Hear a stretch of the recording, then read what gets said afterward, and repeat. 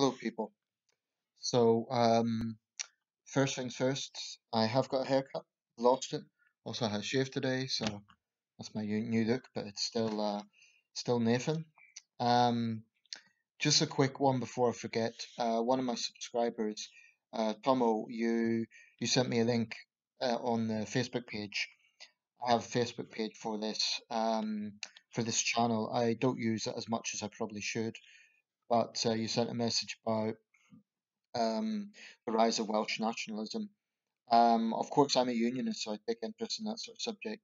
But honestly, I don't know um, that much about the situation in Wales regarding how this is on the rise. So thanks for drawing my attention to that. Um, I uh, I want to amalgamate a few different subjects here, as I often do. There'll be a bit of overlap, but I was browsing YouTube earlier and I got a recommended video. Goodness knows why. I don't know how YouTube comes up with these things, but basically, um, it was a clip from the show Britain's Got Talent, um, which really needs no introduction. It was a very popular show in this country. Um, I'm not sure if it's still being aired or if it's um, kind of if it was still ongoing during the pandemic or not, but um, obviously there, it would be a different dimension because they're not going to have the studio audiences. Um, that's actually an interesting social thing about this pandemic, the the huge influence it's had on entertainment. Um, obviously the cinema situation, but also li live entertainment like uh, TV shows, um, at least live for the studio audience. Sporting events, you know, have been greatly scaled back. Um, I was listening to LBC the other night, uh, not for very long, but the subject they were discussing was about what sort of social implications could change after COVID. I mean, uh, historically, pandemics have led to um, social implications. In the wake of the Black Death, there was uh, the rise of the Renaissance. So something good came out of something very bad. Um, the Labour Party uh, has sort of put forward the idea. I mean, I'm not saying this is a form of policy, but I've heard Labour uh, ministers talk about having a 1945 moment whereby this would be an opportunity to um, kind of start afresh. Uh, 1945, of course, Clement Attlee's landslide election win uh, that gave birth to the modern welfare state, the birth of the NHS. Now, the foundations of the welfare state in this country actually go right back to the Liberal government of Campbell Bannerman, Asquith, and Lloyd George, but it was under that Attlee government that, for example, the NHS was formed, um, created. So it might well be that coronavirus, terrible as it is insofar as the, the death toll and in terms of the effect on the economy, there may actually be some good comes out of it. Who knows? Uh, there may might be things that we can reflect on as a society. Uh, anyway, to go back to what was saying, this clip from Britain's Got Talent, uh, I've seen it before. Um, I don't know why it came up, but anyway, uh, it was two two girls who were uh, best friends, and they they were auditioning for um, you know singing. Um, Abby and Lisa, uh, they the video kind of went viral because basically they had quite an unprofessional attitude. They clearly weren't very talented, and um, in the end, one of them actually punched the other on, uh, you know, um, as they stormed off the set. But what was interesting was they, when it was clear that they weren't um, very good, the audience predictably started booing them, jeering them, and uh, one of them told the audience to shut up, which must have just been a spontaneous reaction. Uh, now Simon Cowell um, sort of reprimanded her and said, "Well, to be fair, you told them to shut up before you even started singing." He failed to mention that the audience started booing before she said that. Um, and you know this is this is viral, had millions of views, and still online. I don't know what those two women have done since, if they have kind of got any sort of development in their career or not.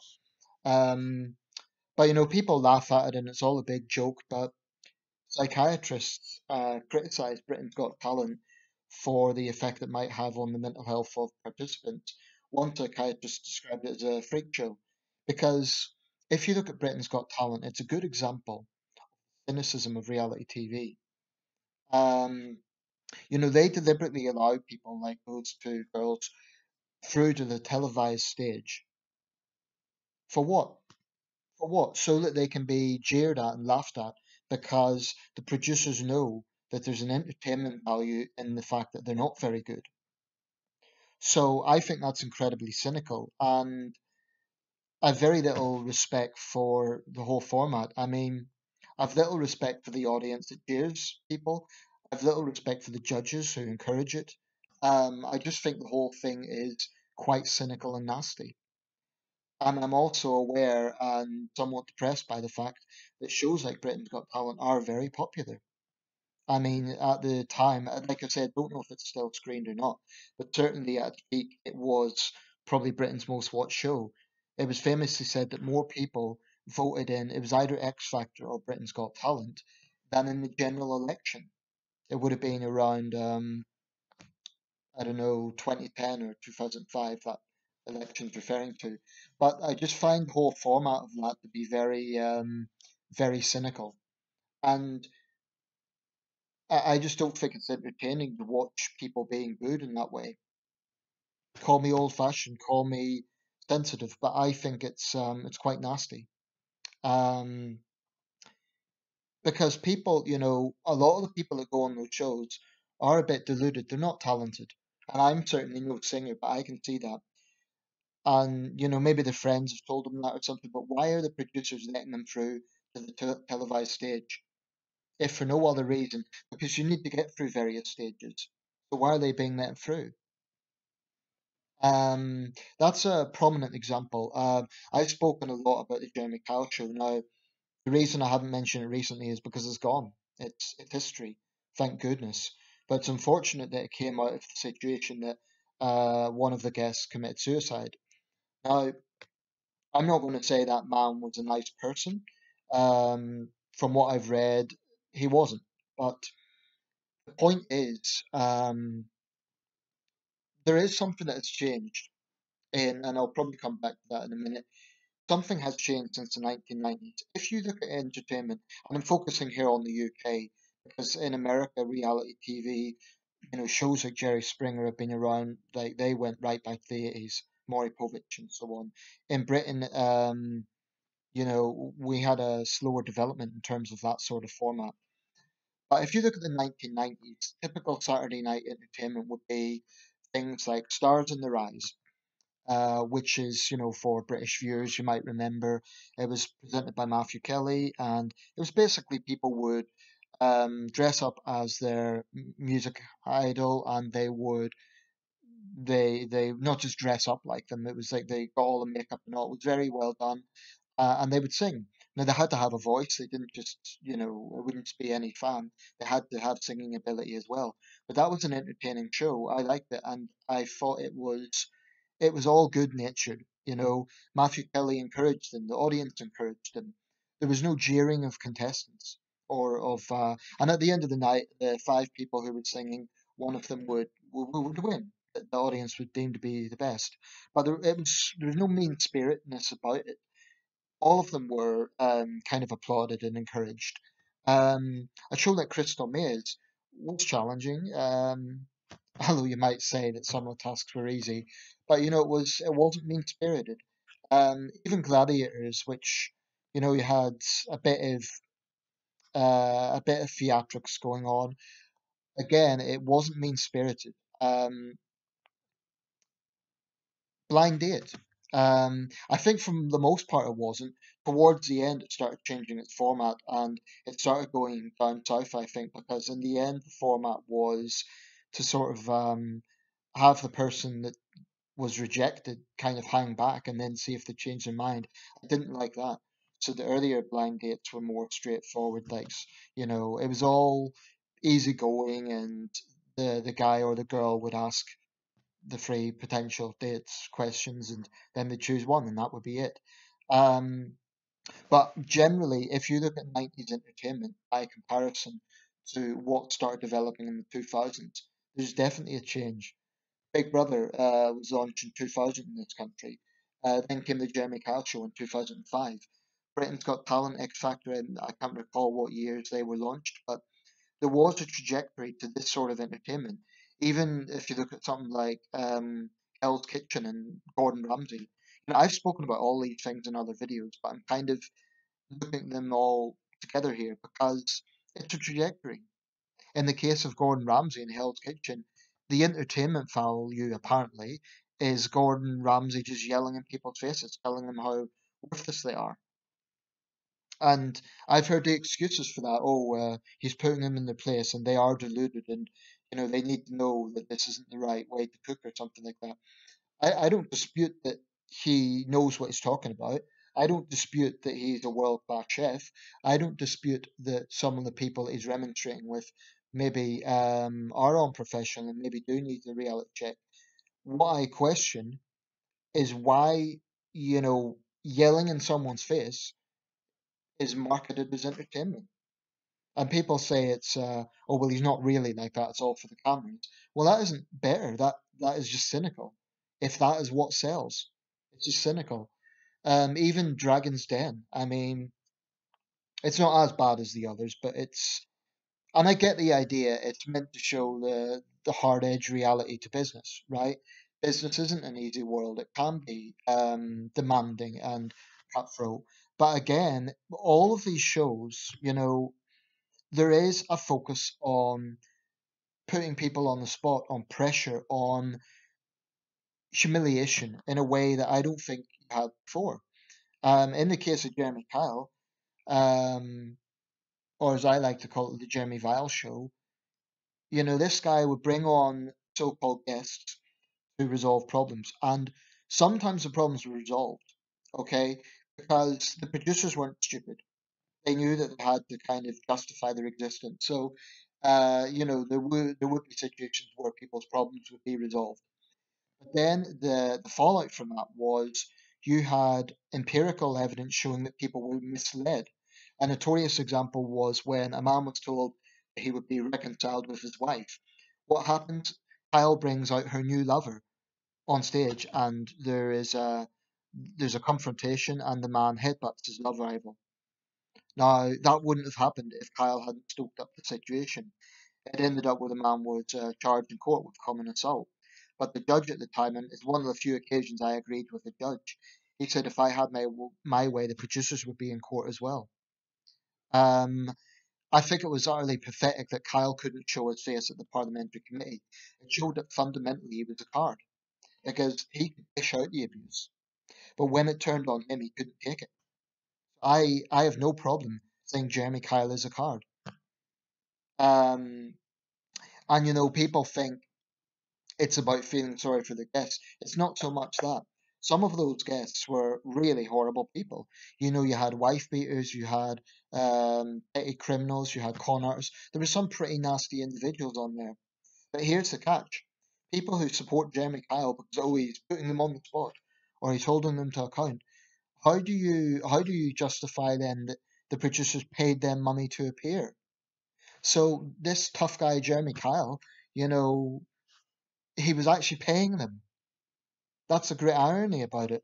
So he would remonstrate some guy beating up his girlfriend or some benefit cheat or something like that, but then give them a hundred quid to appear on the show or whatever it was. Um, probably more than that. So that's hypocritical. You know, he's rewarding them just so he can then kind of put them on the spot. And he would always come out with this really smug line, we're not here to judge. Oh, but this is, and then, you know, stoke up his audience. By the way, I have a low opinion of people who go to that sort of studio audience just to feel good about themselves. You know, um, that's another side about reality TV I really, really don't like. There is a sort of uh, mob mentality about it. Um, I mean, if you look at the Britain's Got Talent sort of audience, if if everyone is booing someone, then they can kind of justify it to themselves. You know, they, they don't stop to think, well, how is that going to make the person on the stage feel? It's just cruel. It's just nasty. And it kind of disgusts me, to be quite honest. Um, I would urge anybody watching this, if you want to be successful in something, try and find other approaches to it. Because shows like this, they really don't give a damn about the contestants. They might occasionally, they might, you know, there will be good stories. There'll be people who said they had a very good experience. But in my opinion, that isn't enough to balance out the bad. It's not enough to justify some of the cynical, cruel techniques these shows use. And the sad thing is, they do enjoy a lot of support. But you know, with ITV especially, I would single ITV out because ITV has a long track record of putting ratings before um, duty of care, in my opinion. Um, because there's Jeremy, the Jeremy Kyle show. There is, I don't know what channel Love Island was on, but you know, Suicide's connected with that. What needs to be understood, it doesn't matter if people agree to appear on these shows. You know, a lot of the people that go on these shows are mentally fragile to begin with. So it doesn't matter that they agreed to something. That's like spiking someone and then making them do something. It's like, oh well, they agreed. Um, there's a lot of dishonesty about these shows, and I really think that people need to be very careful before appearing on them. Um, because in the end of the day, the producers will say that they're professional, they'll say that there's a duty of care, but ultimately their number one goal is ratings. They're a business. That's what they care about. So if that means humiliating someone or setting someone up, they will do it. Um, and I, I do think that the fallout from the Jeremy Kyle show and the death of Caroline Flack last year, um, we really need to look at this and what we find entertaining. I, I'm not naive. I understand that I can't change the opinions of masses, right?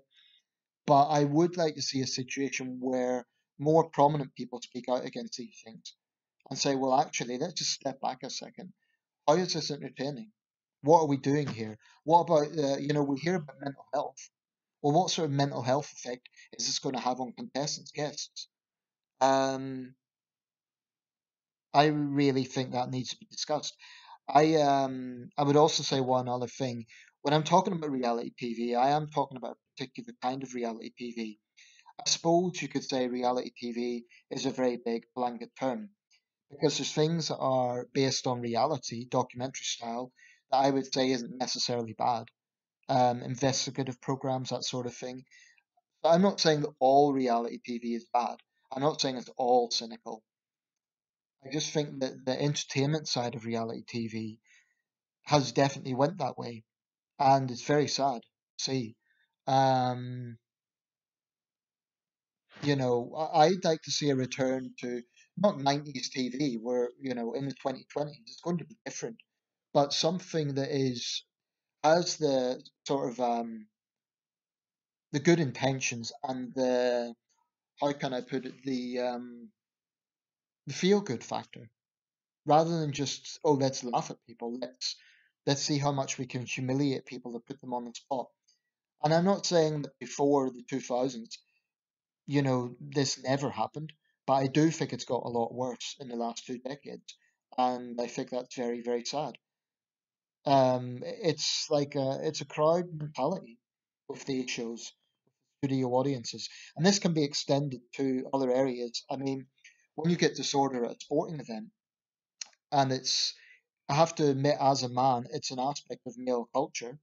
Um, call it toxic masculinity. That's worth a whole debate in its own right, but you know, you get a bunch of guys, and they're not always young guys, sometimes older men as well, and they've had enough booze. And their football team has lost, or their fighter, in the case of boxing, has lost or won, or they disagree with the referee.